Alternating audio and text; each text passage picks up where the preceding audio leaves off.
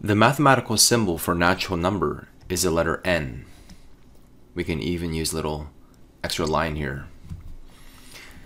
So x belongs, this little c means belongs, to the set of number, curly brace. And when we're talking about natural numbers, we're talking about counting finger numbers such as 1, 2, 3, etc.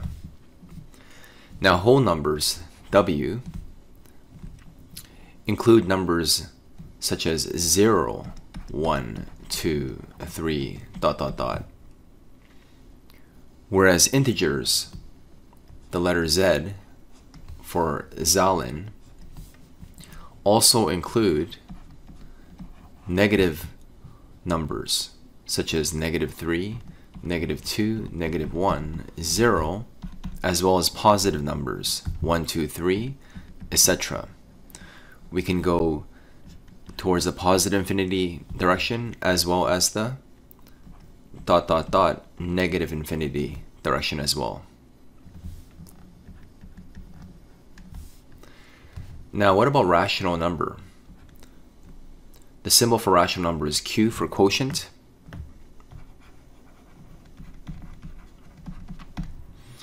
And there's many types of rational numbers. As long as we can get the number into the form p over q, where p and q are integers.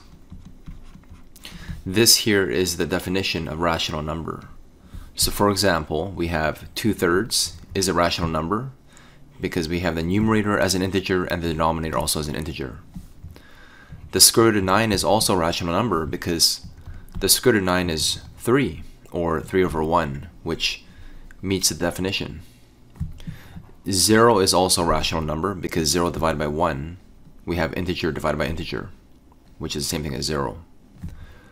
1.2 is also rational because any number is itself divided by 1 and we can multiply top and bottom by 10 to get 12 over 10 which is integer over integer. Now real numbers include all these previous numbers but also include numbers involving radicals such as the square root of 2. Now if you use your calculator this has an infinite number of decimal points we cannot express it as integer over integer. Pi is another example of a real number that's irrational.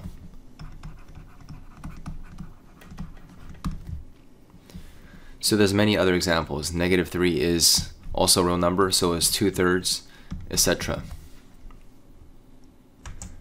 Now we're not responsible for studying complex numbers, which is a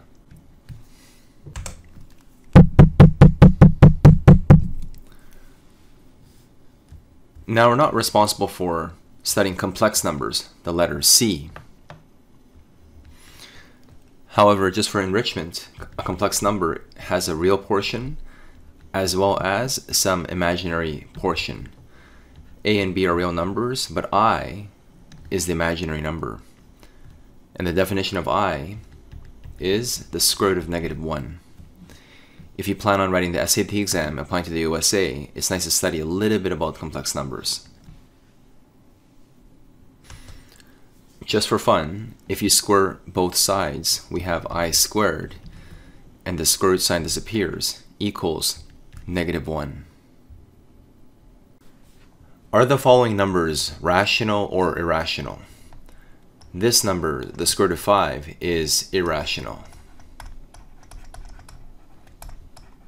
When we have the square root of a number, it's considered irrational unless we have a number like this, which is actually secretly a 4.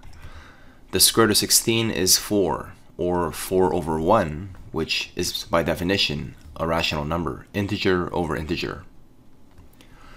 The square root of 25 over 9, this is the same thing as the square root of 25 over the square root of 9, which is 5 over 3. This is rational pi is irrational. There's no end. 3.1415926, etc. 0 is rational because 0 can be written as 0 over 1. Any repeating decimal is rational.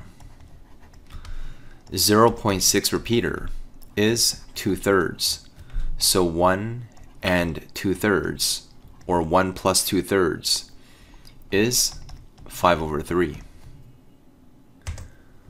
Another rational number we have here is 0.02, or 0.02 over 1. Multiplying top and bottom by 100, we move the decimal place to the right, so we have 2 over 100, which is integer over integer. 2.5 is also rational. We have 2.5 over 1.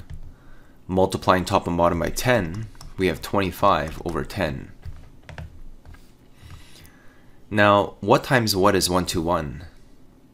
11 times 11 is 121. It's good to memorize your timetables. So 1.1 times 1.1 is 1.21. That's the inside of this radical symbol, the radicand. So the answer is 1.1. 1.1 divided by 1, multiplying top and bottom by 10, we have 11 over 10, which is rational. Finally, e is a constant, much like pi is irrational.